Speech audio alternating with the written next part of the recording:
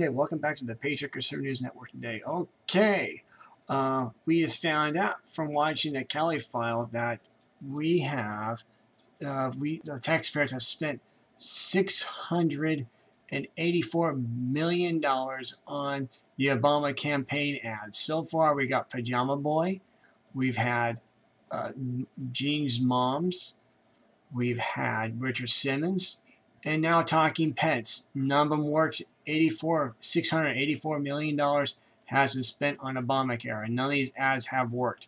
Again, this is from the File reporting this, uh, but we got it here first. We're putting this up on YouTube first uh, before uh, before anybody else gets it. So um, that's from the Patriot Conservative News Network.